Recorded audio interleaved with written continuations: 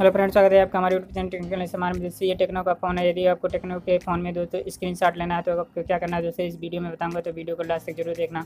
बहुत से फ़ोन में होता है कि तो मतलब तीन फिंगर को ऊपर से नीचे की तरफ़ स्विप करते हैं तो हमारा स्क्रीन शॉट होता है। लेकिन दोस्तों इसमें जो हमें वॉल्यूम डाउन बटन और पावर बटन दोनों बटन को तीन सेकंड तक प्रेस करेंगे तो, तो हमारा दोस्तों ये स्क्रीन शॉट हो जाएगा दोस्तों। यहाँ पे देखिए वॉल्यूम डाउन बटन और जो है पावर बटन तीनों बटन को हमें एक साथ प्रेस करना है तीन सेकंड तक दोस्तों। तो ये हमारा स्क्रीन शॉट हो जाएगा दोस्तों।